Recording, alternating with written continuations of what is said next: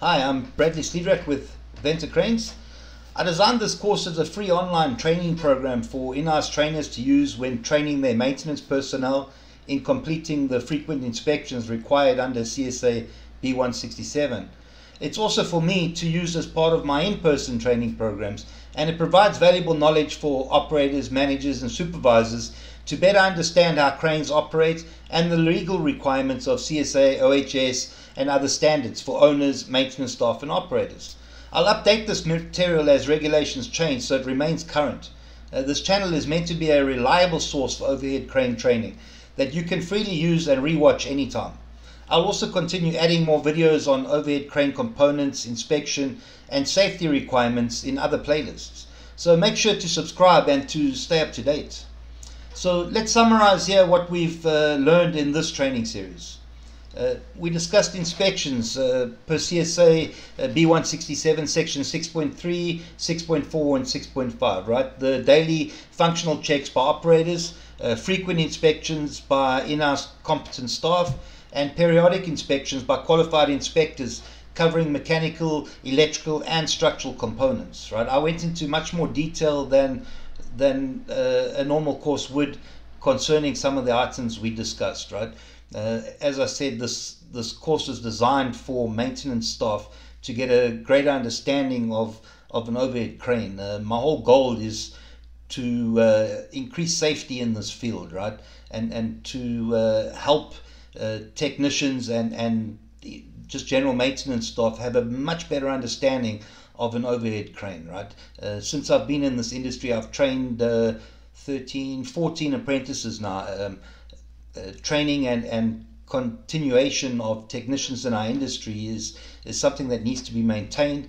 But unfortunately, in today's uh, world, uh, we have less and less people in, entering the industry. So I want to train the the next generation as much as I possibly can, right?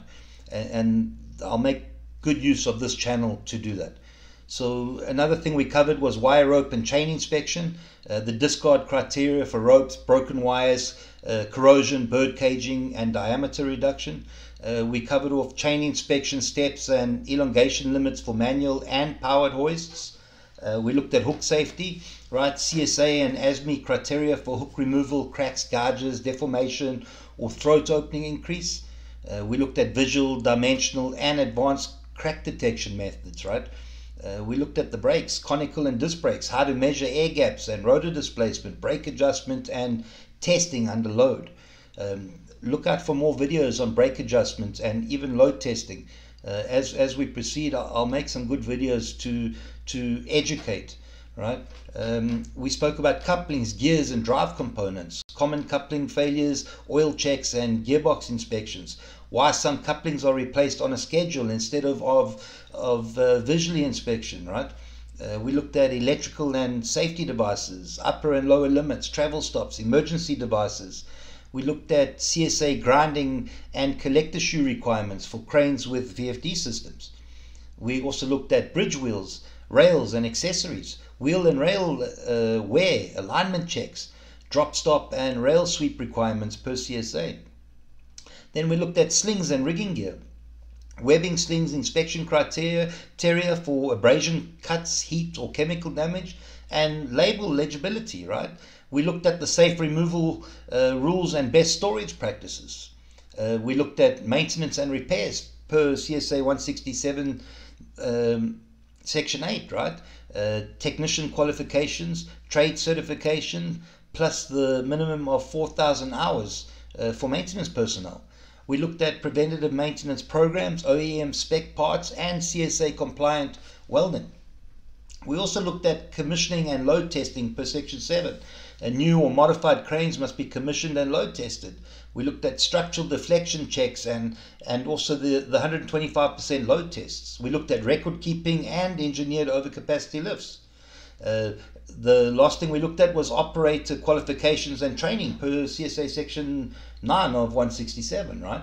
So operator training, uh, uh, the structure, right? Theory, hands-on, evaluation, and refresher cycles.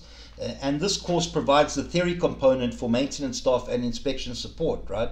But certification requires hands-on training and testing, right? And if you want to complete that, uh, contact me and, and then I can provide certification.